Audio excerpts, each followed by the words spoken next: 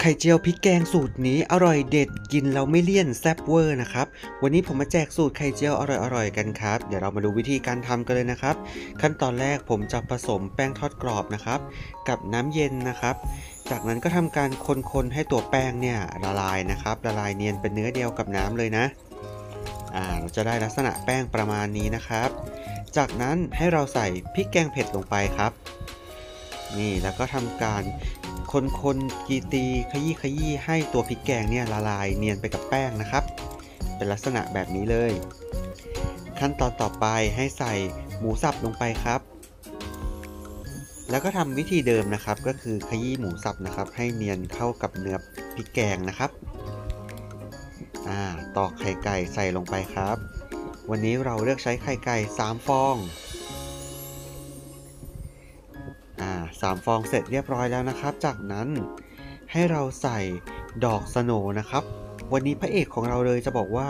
ใส่ดอกสโนนะครับ ไข่เจียวอันนี้เพื่อนๆเคยกินกันบ้างไหมครับ ใครเคยกินไข่เจียวดอกสโนเนี่ยคอมเมนต์มาบอกไว้ที่ใต้คลิปนิดนึงนะ จากนั้นให้ใส่ใบโหระพาลงไปนะครับ ใบโหระพาผมจะเอาไปหั่นนะครับ หั่นครึ่งนะครับ แล้วก็นำมาใส่นะครับ จากนั้นทำการตีตีคนๆให้ส่วนผสมต่างๆ เนี่ยเข้ากันเป็นลักษณะประมาณนี้เลยนะครับ อยากจะบอกว่าขนาดยังไม่ทอดนะครับ ยังกลิ่นหอมเลยนะครับ ไข่ผสมกับพริกแกงเนี่ยกลิ่นดีมากๆเลยนะ ขั้นตอนต่อไปนะครับ ใส่น้ำมันลงไปในกระทะนะครับ ดี๋ยวน้ำมันร้อนนะครับ ให้เทส่วนผสมต่างๆ เนี่ยลงไปทำการทอดนะครับ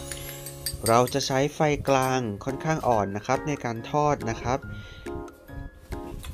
ไข่นี้จะใช้เวลาทอดนานนิดนึงนะ แต่เพื่อนๆต้องระวังไข่ไหม้ด้วยนะครับ อันนี้ผมไม่ทันได้สังเกตนะครับ เผลอไปหน่อยนะครับ เกรียมไปเลยครับ อันนี้ก็เสร็จเรียบร้อยแล้วนะครับ ทอดเสร็จเรียบร้อย ผมเอามาหั่นเป็นชิ้นๆนะครับ นี่พร้อมกินกับข้าวสวยร้อนๆแล้ว เพื่อนๆคนไหนดูคลิปนี้จบแล้ว ลองทำตามดูนะครับทำตามแล้วเป็นยังไงคอมเมนต์มาบอกไว้ด้วย ถ้าชอบคลิปนี้ฝากกดไลค์กดแชร์และกดติดตาม เพื่อเป็นกำลังใจให้ด้วยนะครับ